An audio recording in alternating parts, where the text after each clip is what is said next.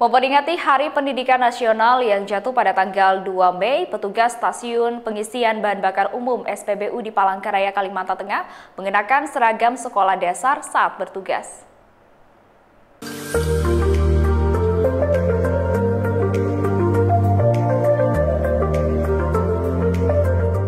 Tepat di momen peringatan Hari Pendidikan Nasional, suasana berbeda terlihat di SPBU Jalan Yosudarso, Palangkaraya, Kalimantan Tengah, Kamis 2 Mei siang.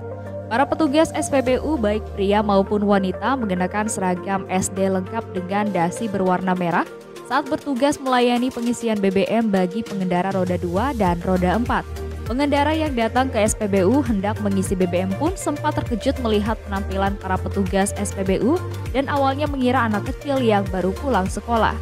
Penggunaan seragam sekolah dasar bagi para petugas SPBU ini merupakan inisiatif dari pengelola SPBU dalam rangka memperingati Hari Pendidikan Nasional sekaligus mengenang masa-masa lalu saat masih kecil.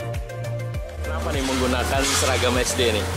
Jadi untuk saat ini kita pakai seragam SD ini untuk memperingati Hari Pendidikan Nasional. Jadi ini inisiatif dari pengelola SPBU. Jadi semuanya kita kompak pakai baju seragam ini. Hmm. Tidak risih atau gimana menggunakan seragam SD? Enggak sih kak, karena kita merasa senang gitu. Ingat masa-masa SD dulu sampai sekarang kita bisa bekerja. Jadi rasanya tuh kayak ingat masa lalu masuk ke SPBU tadi gimana melihat suasana di sini? Uh, terkejut sih. Saya kira anak SD pulang sekolah. Uh, yang lagi bertugas di SPBU. Ya. Eh, ternyata? Ternyata petugas SPBU.